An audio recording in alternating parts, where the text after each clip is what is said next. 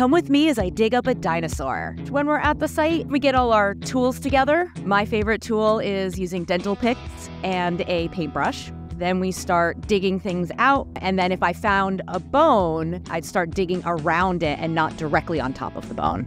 So most bones are so fragile, we don't want to just pull them out of the ground.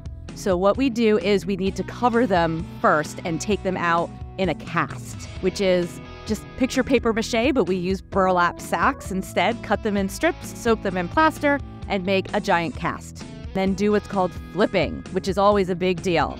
And you flip it over and hope the bone stays inside the cast. We do this because these bones are so fragile, and so the fine tuning of getting the fossil actually out is done usually in a laboratory setting. The bones are almost never perfect. They're often kind of chipped and maybe even falling apart. It's a jigsaw puzzle with a lot of missing pieces.